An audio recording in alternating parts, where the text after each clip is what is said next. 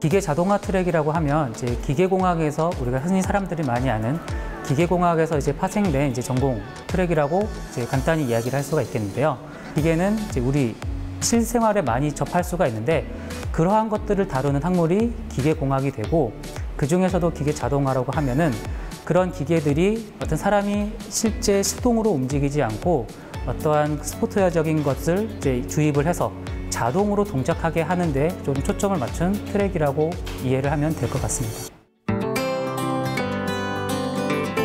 제일 큰 장점은 이제 제가 상상하는 거를 만들어낼 수 있는 능력이 길러졌다는 것 같아요.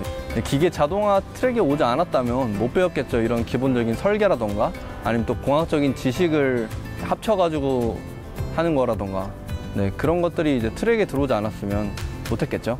여러 가지 역학을 알면서 어, 이 물건이 어떻게 만들어졌고 어떻게 설계되었는지를 알면서 그러고 알아가는 과정이 재밌더라고요.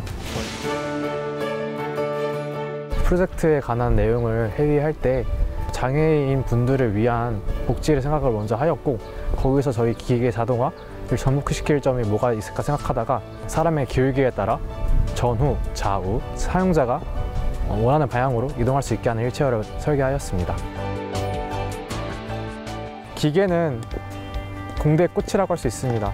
모든 과목에 다 배우고 저에게 제품을 설계하는 데 필요한 이론과 부가적인 실습들을 통해서 저, 저에게는 좀 더 많은 상상력을 불어주는 그런 트랙인 것 같습니다. 어렸을 때 막연하게 로켓을 만들고 싶다라는 꿈이 있었는데 제가 막연하게 꿈꿔왔던 과학자라는 꿈을 기계 자동화 트랙에서 제가 배워온 물리학 지식이나 그런 공학 지식을 통해 어떠한 물체를 직접 제어하고 움직일 수 있도록 구동할 수 있도록 만들어주는 저에게 있어서는 꿈을 실현시킬 수 있는 그런 트랙이라고 생각합니다. 기계 자동화 트랙과 관련해서 진출할 수 있는 산업이라고 하면은 이제, 자율주행으로 대표되는 이제 전기차 산업이 이제 예를 들 수가 있겠고 거기에 더 나아가서 이제 지구가 아닌 이제 달이라든지 화성이라든지 이제 우주 공간상으로도 확장을 하는 항공우주 산업에도 이제 진출을 할 수 있을 것으로 기대가 되고요.